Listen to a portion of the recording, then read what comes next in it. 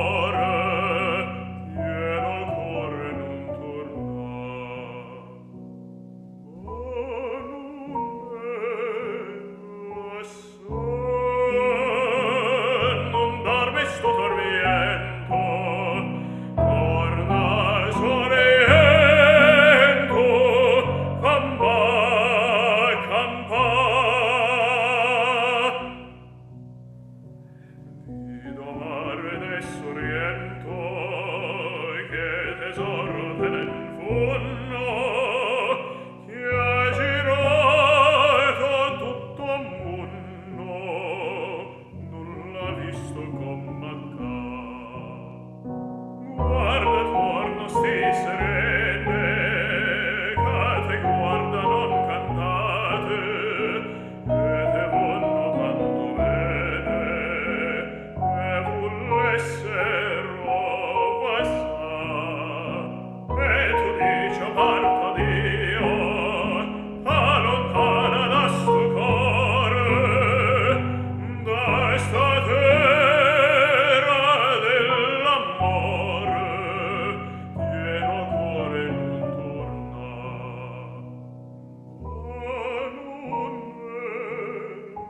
voice.